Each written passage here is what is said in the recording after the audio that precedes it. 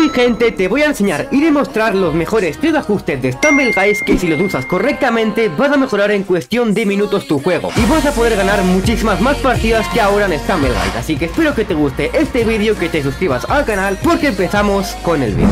Bueno gente, pasamos ya con el vídeo donde os voy a dar las 3 mejores opciones de ajustes para mejorar de una forma muy rápida el Stumble Guys ya que en cada juego tenemos diferentes ajustes para modelar a nuestra forma ya sea como en Fortnite donde tenemos por ejemplo 100 ajustes diferentes, en cualquier shooter donde tenemos el tema de la sensibilidad, y como en Stumble Guide, donde tenemos unos ajustes que si los usamos correctamente podremos mejorar una auténtica barbaridad. Así que si nos vamos a Stumble Guys y nos dirigimos al apartado de los ajustes, y para empezar estaréis viendo que yo tengo estos ajustes ya que al grabar pues el juego se ve más bonito y todo eso, pero bueno, si queréis mejorar vuestro juego en Stumble Guys y que el juego os vaya fluido y todo, estad muy atentos. Para empezar, si nos vamos al apartado de controles y le damos a personalizar, un consejo que utiliza los mejores jugadores actualmente en Stumble Guys es que usan un tamaño pequeño de los botones de movimiento, ya que esto te va a hacer incrementar la velocidad de tus movimientos en un 50% más rápido que los demás jugadores de Stumble Guys. Básicamente lo pones un poco más de la mitad y ya te va a ir bien. Así que te recomiendo que te copies estos ajustes que te estoy enseñando en este vídeo, que te pongas un tamaño más pequeño de los botones del juego para básicamente incrementar la velocidad de tus movimientos en Stumble Guys. Así que bueno, es muy importante chicos este consejo. Y si eres una persona que no quiere concentrarse por nada, tendrás que bajar el sonido de la música y del volumen, ya que esto te puede concentrar en momentos cruciales de la partida. Y si quieres llegar a ser un pro en Stumble Guys y estar al 100% concentrado, siempre tendrás que hacerme caso, ya que básicamente si tienes el volumen en alto, imaginaos que quedáis en 1 versus 1 al final de la partida, pues básicamente el volumen o la música te puede llegar a desconcentrar, así que te recomiendo que bajes del sonido, de la música y del volumen del juego. Y si seguimos bajando y nos vamos al apartado de shadows o sombras, para que el juego te vaya lo más fluido posible, tendrás que ponerte esto low, en bajo básicamente la traducción, ya que cuanto más bajo esté, como os acabo de decir, más fluido te va a ir el juego, y vas a ir con más fluidez que los demás jugadores que tengan las sombras en alto, así que aquí todo cuenta. Si quieres tener una ligera ventaja que los demás jugadores de Stumble Guys de la partida, tendrás que ponerte las sombras en bajo. También se recomienda tener una resolución más baja del 90%, aunque el juego se vea más mal, ganarás esa fluidez de FPS más que los otros jugadores de la partida, y eso para el final de la partida o para superar rondas importantes